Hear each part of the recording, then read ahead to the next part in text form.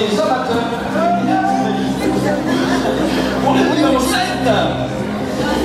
septième quand même sur euh, pratiquement 60 compétiteurs venus d'un peu partout, Monsieur Karim Arcadet.